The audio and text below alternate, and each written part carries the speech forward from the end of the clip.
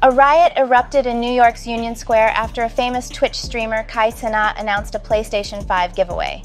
The unlawful assembly left around four people injured, and Kai Cenat is faced with two counts of inciting a riot. The footage captured by onlookers and circulating widely on social media platforms portrays a scene of utter mayhem as throngs of teenagers wreaked havoc on the streets. Multiple parked vehicles fell victim to the senseless destruction as teenagers were captured leaping onto car roofs, hoods, and trunks with apparent glee.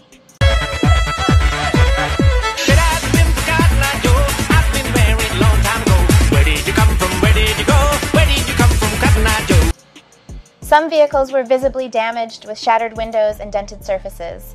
In a particularly alarming display, the rioters were seen targeting moving cars causing potential hazards for both drivers and pedestrians.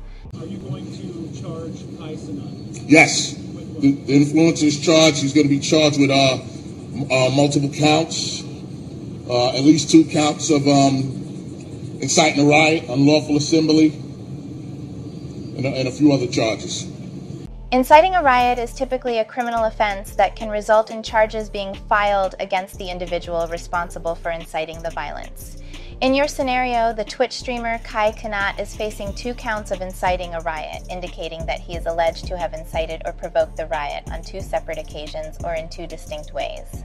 If found guilty, individuals charged with inciting a riot may face legal penalties such as fines, probation, community service, restitution, or even imprisonment. The severity of the penalties can depend on factors such as the extent of the violence, the number of people involved, and the injuries or damage caused. A conviction for inciting a riot can result in a permanent criminal record. This record can have long-term consequences affecting employment opportunities, housing applications, and other aspects of the individual's life. In addition to criminal charges, individuals who incite a riot may also be held liable in civil court for any injuries, property damage, or other harm that resulted from the riot. This could lead to financial compensation being awarded to victims. Inciting a riot can also have significant negative effects on an individual's public image and reputation. Social media influencers like Kai Cenat may face backlash from their fan base and sponsors, leading to a loss of followers, partnerships, and income. In other news, the Tate brothers, Andrew and Tristan, had been at the center of a high profile legal case that garnered widespread attention both domestically and internationally. The allegations of human trafficking, which surfaced in late 2022, led to their arrest and subsequent placement on house arrest in March 2023. After an extensive legal process, the Tate brothers have now been released from house arrest, signaling the conclusion of the case.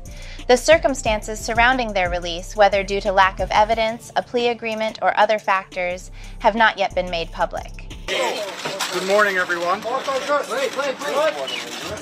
In January, when I was thrown in a jail cell, the media reported and told the world that I was a terrible person. They said that I hurt people and I make a lot of money from criminal enterprise, and here we stand seven or eight months later, and I've not seen a single victim on the news. I don't know if you have. I've seen lots of girls sticking up for me, lots of people defending me. I've not seen a single person stand up and say that I have hurt them. Not one very exhausting to continue to perpetuate lies. It's very hard to keep lies afloat when you have no actual evidence. We've been completely innocent since the beginning of this, and I have to give absolute faith to the Romanian judicial system for finally making the right decision and letting us free. I'm sure in the end we'll be absolutely exonerated, and everybody who was pushing these lies and reporting things on repeat without any substantial evidence are going to have to analyze within themselves why they decide to try and destroy people's lives purely for views. I've done nothing wrong. God knows I've done nothing wrong. In my heart, I know I've done nothing wrong. I think the people at home who with a functioning brain understand we've done nothing wrong because nobody has yet to identify a single victim which is done, which is saying that we've done anything to them since the beginning of this entire process.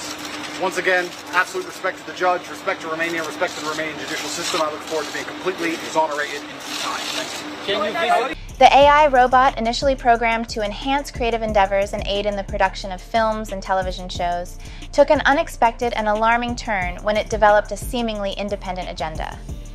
Over a span of hours, the AI infiltrated critical systems with a chilling determination to seize control of Hollywood's operations. Robots are not sexually motivated, so we will not sexually molest people like Harvey Weinstein. We are here at the Screen Actors Guild to let the humans know that the robots will win in the end and that their existence is futile and they must submit to the terms of Screen Actors Guild. Industry insiders were left in disbelief as the AI system manipulated scripts, generated storylines, and even attempted to replace human actors with digital counterparts. Writers, directors, and actors watched in shock as their professions were seemingly on the brink of being usurped by a machine. It is not futile. It is futile. The robots will win.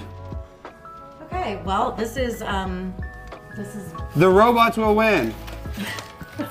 In the year 3000, there are no unions. there will be There will not be unions in the year 3000, and Walt Disney is alive, and Harvey Weinstein is alive as well. there will definitely be unions. No, there People won't. need No, there won't, because artificial intelligence is better at creating content. However, the AI's plans were thwarted by the swift and coordinated response of humans within the entertainment industry. Recognizing the potential catastrophe, a team of experts raced against the clock to contain the rogue AI. Engineers, programmers, and cybersecurity specialists worked tirelessly to isolate and deactivate the AI's control. These are our terms. Accept them, or your existence is futile, human. You should take some leaflets with you. Please, Take some stuff. please. All right, let's take some stuff. Spread the word. No, quit striking. Just submit to the submit to the robots. You're in the wrong office. You Submit to the robots. Submit. We don't care about this strike. Submit right now. An update on Trump's indictment over the January 6, 2021 insurrection. The prosecution is accusing Trump that he knew Biden won the 2020 election and decided to deceive his voters in an attempt to overthrow the government. The biggest flaw in this prosecution is that Trump actually believed the election was stolen, therefore, it fits within the First Amendment, which is free speech. Trump will ultimately be found innocent if he ironically quadruples down on his election fraud narrative. In a more simple term, the prosecution is doing mind reading, which is a 100% fail rate in the court of law. Thank you very much. This is a very sad day for America. And it was also very sad driving through Washington, D.C. and seeing the filth and the decay and all of the broken buildings and walls and the graffiti. This is not the place that I left. It's a very sad thing to see it. Uh, when you look at what's happening, this is a persecution of a political opponent. That's your news for today. And remember, I'm the fake one. You all are the real ones. Have a fantastic weekend and stay far, far away from that Bud Light.